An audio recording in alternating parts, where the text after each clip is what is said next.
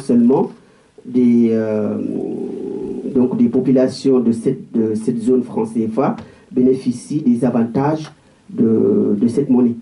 Et donc je voulais savoir également, parce que ce sont eux qui peuvent acheter les, les, les importations, c'est-à-dire des, des, produits importés avec, avec le franc CFA. Et la dernière question, c'est juste pour savoir, parce que vous avez évoqué les, les quatre ou cinq possibilités euh, donc de, naissance de monnaie. Donc vous, personnellement, euh, laquelle vous préconisez? Euh, Merci et, et bonne journée.